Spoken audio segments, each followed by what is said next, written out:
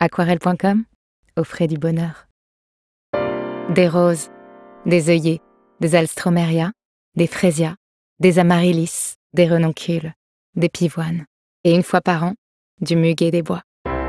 Aquarelle.com Offrez du bonheur.